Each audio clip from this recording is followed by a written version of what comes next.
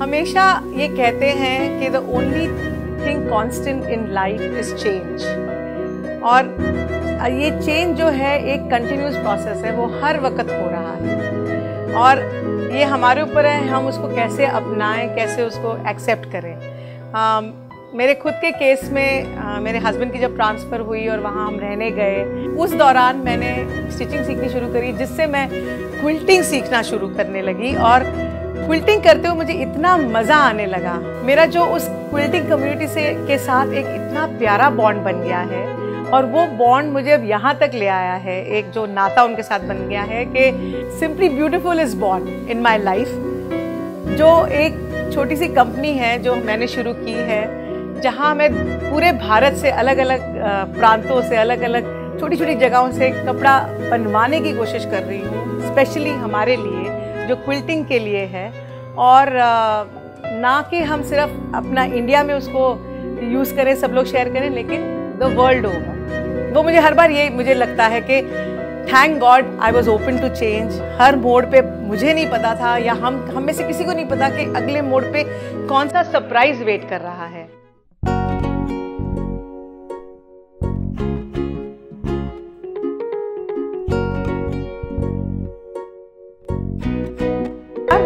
मैं सेठी simply beautiful से आज एक बड़ा छोटा सा, प्यारा सा क्यूट सा प्रोजेक्ट लेके आई हूँ। जिसकी जो ब्लॉक है, वो है फ्लाइंग गीस ये जो ये जो ब्लॉक है छोटा वाला, इसको फ्लाइंग गीस कहते हैं। और हमने उसको ऐसे असेंबल किया है कि इसका अब नाम है डचमैन पजल तो आज हम इसको बनाना सीखेंगे और हमने हॉट पैड्स बनाए हैं। यानी आपके जो गरम परोसने वाले खाने हैं दाल है, सब्ज़ी है, आपकी जो मेन डिश है वो आप इस पर रख सकते हैं सर्विंग डाइनिंग टेबल पे। इसके लिए हमें, हमने ये तीन फैब्रिक सिलेक्ट किए हैं। जो पैलेट बहुत इंटरेस्टिंग बन रहा है इनका एज यू सी सबसे पहले हम रेड कलर को लेते हैं। हम इसको अच्छे से फोल्ड करेंगे दोनों एंड से। जो सेल्वेज एंड हैं, इनको हम अच्छे से मिला लेंगे।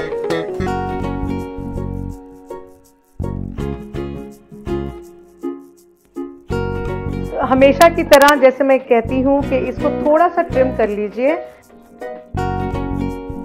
इसको हम जो हमारा साइज़ है वो है five and one fourth of an inch ये है one two three four five and one fourth so five and one fourth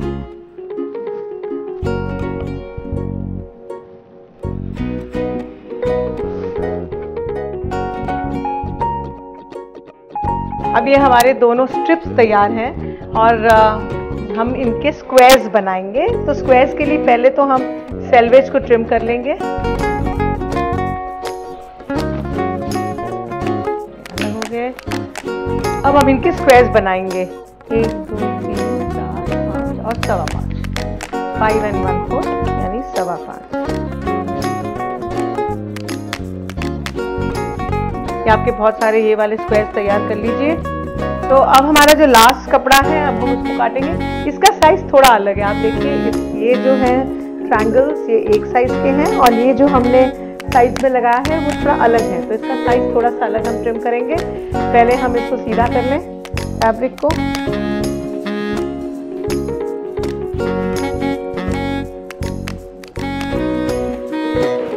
ये हमारा जो साइज़ है, वो है two inches by seven inch so पौने तीन इंच तो ये हमारा लास्ट स्ट्रिप काट लिया हमने, जो अलग साइज़ का है। स्क्वायर है, हमने जो स्ट्रिप की चौड़ाई है, पट्टे की चौड़ाई है, वो पौने तीन इंच है तो हम इसको भी पौने तीन इंच से काटेंगे। वन टू एंड थ्री अब ये जो छोटे वाले स्क्वायर्स हैं, हम इनको यहाँ पे ऐसे पोजीशन करके एक corner to corner point to point एक सीधी लाइन ड्रॉ कर लेंगे। अब आप दोनों कलर्स एक एक ले लीजिए। तो इसको देखिए, थोड़ा सा क्रीज है तो मैं इसको फ्लैट करूँगी। Ironing is very important press आप हर स्टेज पे कर लीजिए। ज़रा भी वो अनइवन ना लगे।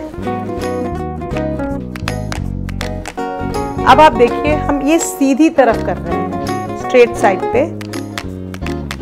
ये लाल के कोने से मैंने ये वाला स्क्वायर फिक्स किया है, देखिए, कोने से कोने ये मिलाया है।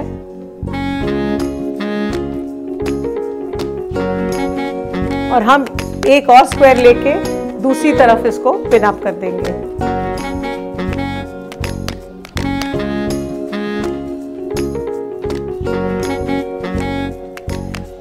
जो फ्लाइंग गीस है, एक बहुत ही मज़ेदार पजल लगती है कि ये तीन कलर्स में भी कितने सारे तरीके से आप इसको बना सकते हैं अरेंज कर सकते हैं। जैसे वो मैथमेटिक्स में हमने किया था परमिटेशंस एंड कॉम्बिनेशंस ये बिल्कुल बहुत सारे हमको variety of permutations and combinations दे देगा।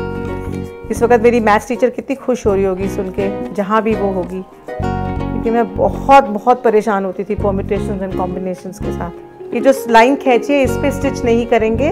इसके क्वार्टर इंच लेफ़्ट और क्वार्टर इंच राइट दोनों तरफ़ हम इसको स्टिच करेंगे।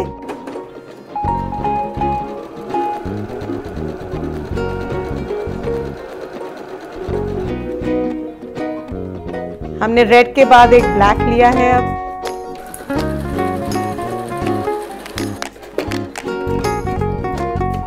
अब मैं दूसरी तरफ़ क्वार्टर इंच का सीम लूँगी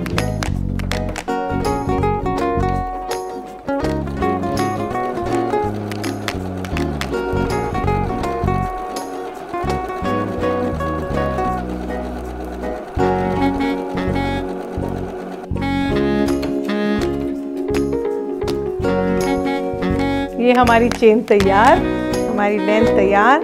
अब हम इसको कट करेंगे। अब हम इसको एक बार और ट्रिम कर लेंगे, काट लेंगे।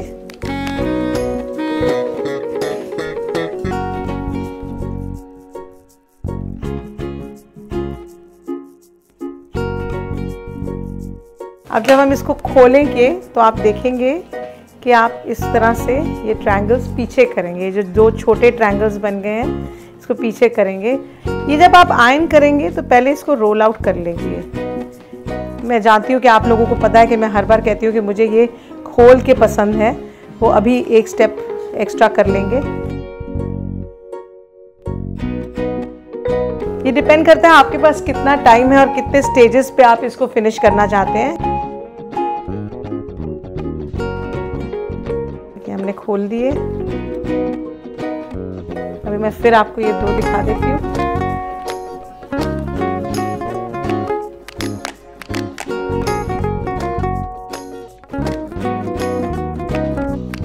थोड़े से और छोटे वाले स्क्वायर्स जो हैं, उनमें फिर से डायगनल लाइन बना सकते हैं।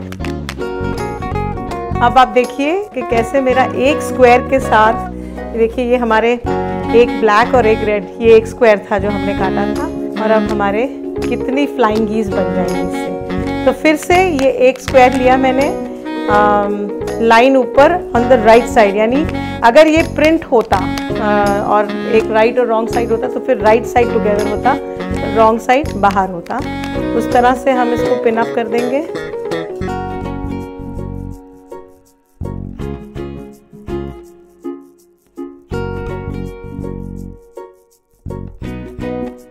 लाइन के दोनों तरफ़ क्वार्टर क्वार्टर इंच पे आप सिलाई करेंगे। ये आपकी सेंटर लाइन है। आप उसको ध्यान रखिएगा।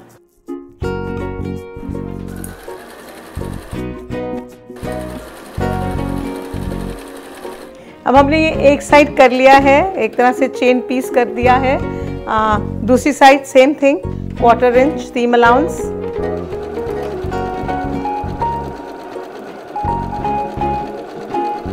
याद रखिए कि ये एक बहुत क्रिएटिव प्रोजेक्ट uh, हो रहा है which is a very artistic thing and you will always find के artistic people creative people are very happy people they are always on a creative high और सबसे बड़ी चीज़ जो उनकी होती है वो अगर उनको कोई चीज़ नहीं आती वो सीखने की कोशिश करते हैं। And now we will be cutting on the line अब आप देखिए, हमने वो जो दो बड़े स्क्वायर्स काटे थे उसमें से ये हमारे एक, दो, तीन और चार फ्लाइंग बीज तैयार हो। और आप देखिए, मेरे इस हॉट पैड में मुझे कितने चाहिए? एक, दो, तीन, चार और एक, दो, तीन, चार। और मेरे वो तैयार हो चुके हैं। एज ऑलवेज इसको हम फिर से प्रेस करेंगे।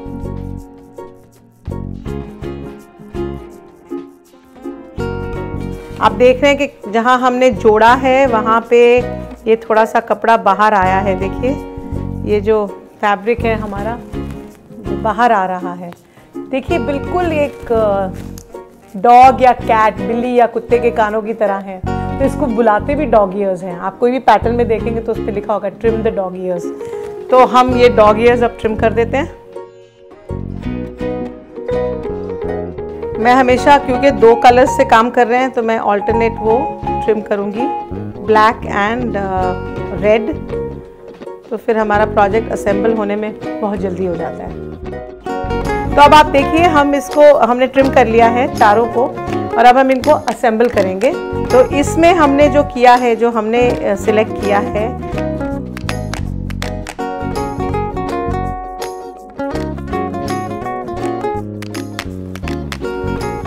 पिन व्हील फिरकी। तो आप देखेंगे कि जब आपने इनको प्रेस किया, ये आपका एक्स्ट्रा निकला हुआ है भाग।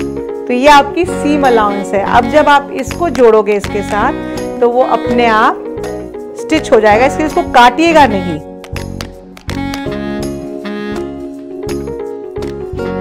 याद रखिएगा, ये ये ये जो ट्रायंगल है, ये ऊपर है और ये इसके ऊपर भी ट्रायंगल है। तो जब आप इसको फिक्स करेंगे तो ये अपसाइड डाउन हो जाएगा। ऊपर वाला एक ऐसे होगा और एक ऑपोजिट साइड में होगा।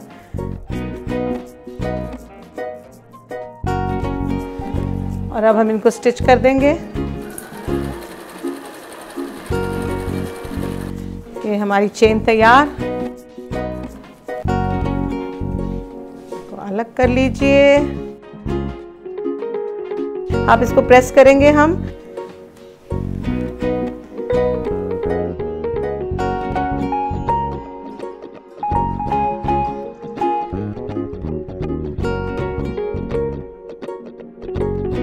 अब हमने ये जो चार हैं, इनको बहुत अच्छे से प्रेस करके सेट कर दिया है और अब हम इन चारों को असेंबल करेंगे।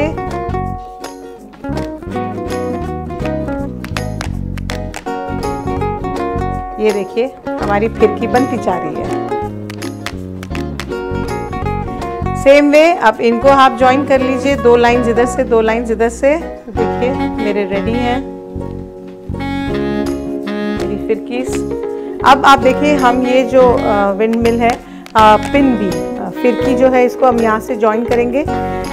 ये जब इतना लेंथ हो जाए और फिर हम जब मिलाएँगे तो सेंटर से शुरू करिए। हमेशा देखिए, जहाँ पे ये हमारी प्रेस खुली हुई है, दोनों तरफ़ पॉइंट ऑफ़ इंटरसेक्शन है, वहाँ से शुरू करिएगा और आप इसको पहला पिन इसके तरफ़, फिर दूसरा इस साइड पे one left, one right.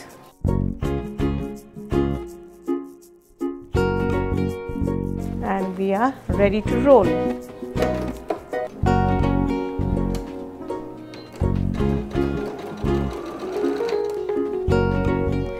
Pin निकालना मत भूलिए। मशीन की सुई टूट सकती है। जेंटल पुल भी दूँगी पीछे से। देखिए जेंटल सा pull and it is ready अब हम इसको फिनिश करते हैं।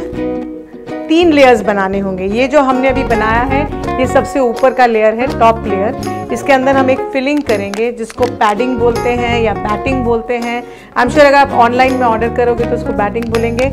और एक last fabric the last layer आप इसी नाप से इस फैब्रिक को काट लीजिए। और बहुत तरह की बैटिंग्स मिलती हैं बाज़ार में। ये जो मेरे पास इस वक्त है it's called a fusible batting आप देख रहे होंगे, इसमें दाने दाने हैं, छोटे छोटे। ये एक्चुअली गम है ग्लू है। तो जब आप इसके साथ इसको फिक्स करेंगे, आपके प्रोजेक्ट के साथ तो ये इस तरह से आयन हो जाएगा तो ये चिपक जाएगा।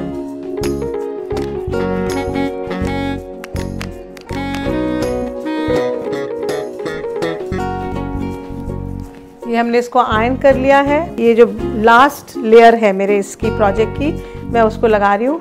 ये तीन लेयर्स हैं। They are called a sandwich block in the quilting world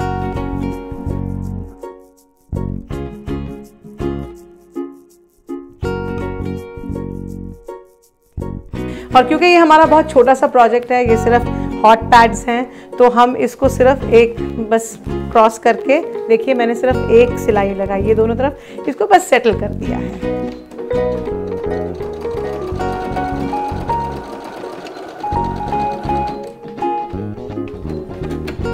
ये मेरी एक साइड तैयार, अब मैं दूसरी साइड पे आ गई।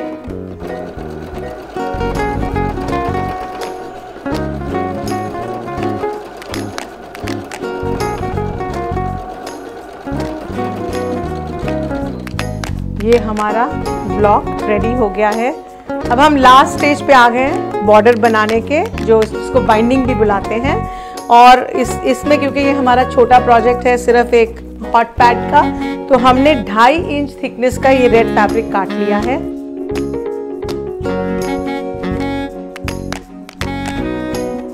और आप इसको जोड़ लीजिए।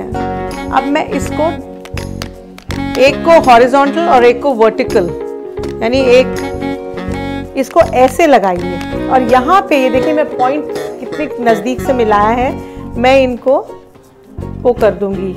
एक लाइन खींचेंगे हम इसमें। एक डायगनल बना दीजिए। देखिए, यहाँ पे इस तरह से।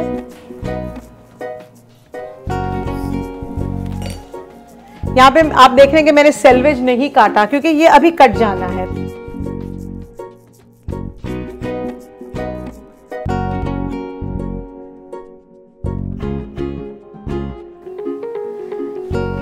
Back in.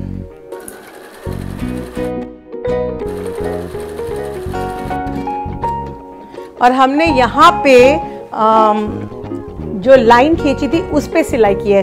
क्वार्टर इंच दूरी पे नहीं की, क्योंकि वो ब्लॉक था। ये हम सिर्फ़ बायस बाइंडिंग बना रहे हैं। तो इसको आप लाइन पे ही वो करिए और फिर आप क्वार्टर इंच पे इसको कट कर लीजिए।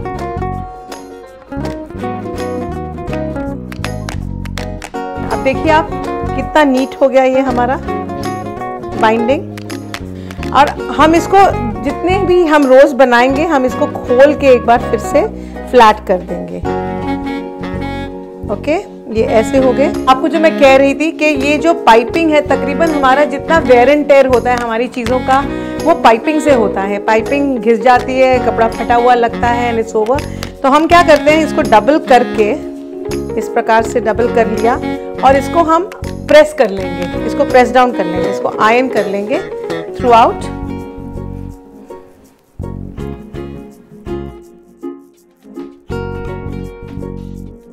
अब मेरे ब्लॉक पे हम इसको लगाएँगे कैसे? पहले तो ये जो एक्सेस है, ये जो एक्सेस बैटिंग है, हम इसको ट्रिम आउट कर देंगे।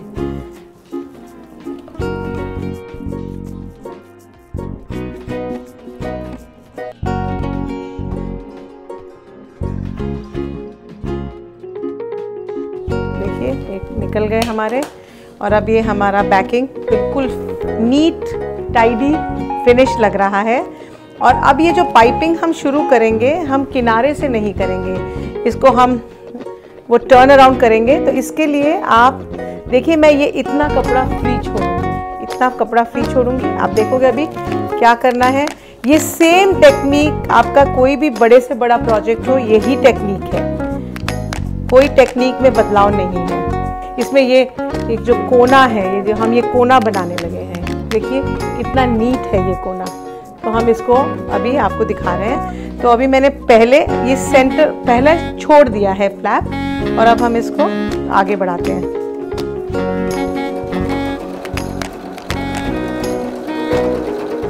ये हमने यहाँ पे आके इसको छोड़ा है। बहुत नीट लगता है और बहुत इजी है। मैंने किया क्या? मैं आखिर तक गई हूँ। मैंने इसका अब यहाँ पे इसको लेफ़्ट टर्न किया है। ये लेफ़्ट किया तो ये एक ट्रायंगल बन गया। देखिए, ये एक छोटा सा ट्रायंगल बन गया है लेफ़्ट में। और मैंने उसके बाद, मैंने यहाँ उंगली रखी है और मैंने उसको टर्न ओवर कर दिया है। वो जो मेरी पाइपिंग का कपड़ा है, मैंने उसको टर्न ओवर कर दिया है। सिंपली इस तरह से। ये देखिए, इसको ऐसे मिला के मैंने टर्न किया है। यहाँ पे एक पिन लगा लीजिए। और अब मैं अपना पाइपिंग कंटिन्यू करूँगी।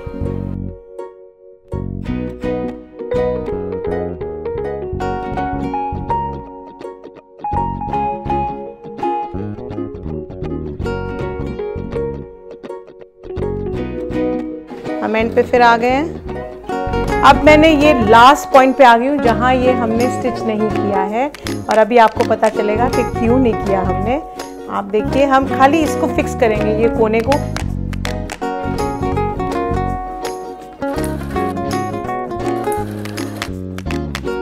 तो अब आप देखिए, ये मैंने, ये जो फ्लैप पहले वाला है, उसके अप्रॉक्सीमेट साइज़ से मैं इसको काट लूँगी। अब हम इसको फिनिश कैसे करेंगे? ये जो है, एक साइड को हम यहाँ से ऐसे मोड़ लेंगे। देखिए, ये ऐसे मैंने मोड़ा है, हाथ से। इसको इस तरह से मैंने मोड़ लिया है। और इनके बीच में, इस चीज़ को मोड़ा है, उसके बीच में मैं वो जो पहले वाली पाइपिंग है, वो मैं डाल दूँगी। देखिए, ये कैसे जुड़ गया है और ये फोल्डेड है तो इसमें वो रेशे नहीं निकलेंगे, धागे नहीं निकलेंगे। अब मैं इसको फिनिश कर दूँगी। यहाँ पे एक पिन लगा देंगे, इस तरह से।